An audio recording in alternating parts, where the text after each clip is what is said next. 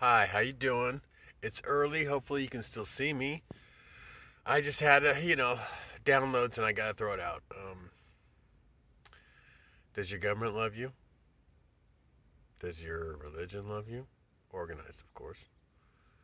I was thinking that that guy that was going off about religion, right? When I was talking to him, like God, don't bring God up and all that because he's an atheist. He ended up buying one of my paintings. Of course, it wasn't finished, so I gave him a discount. Care. but I was thinking about that, yeah. And he was like, oh, religion. Uh. I was like, no. No. You know why? Because um, religion gets a pass. What do you mean, Robert? What do you mean get a pass? Tax exempt. Why are religions tax exempt? Because they tow the globalists' water. And the globalists want a new world order. They want you as slaves, not citizens. Do you understand? And I'll tell you why. I know this to be true. You do not put your citizens in the dark. You do not lie to your citizens. You do not steal from your citizens. And you do not, you know, enslave and abuse and terrorize your citizens, which is basically what the whole thing is going on right now. Everybody's being terrorized. They're being punished. They're being they're suffering.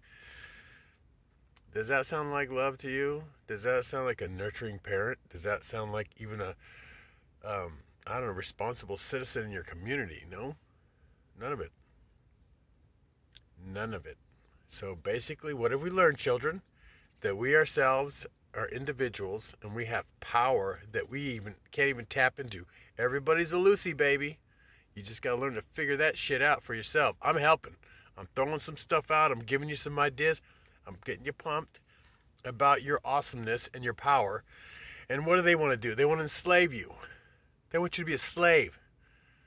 Think like they want you to think, feel like they want you to feel, and live like they want you to live. And you ain't even got to say. You vote, please.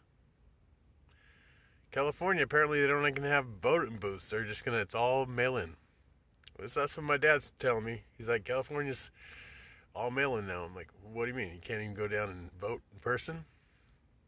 I don't know. Let's see what happens, people. But like I said, you're either in your power or you're somebody's slave. And I was a slave, and I was freed. I, I pulled that corp, realized I was an emperor, and said, damn. Better start acting like it, right? By the time you start acting like an emperor and empress, right? Have a wonderful day. Okay, bye.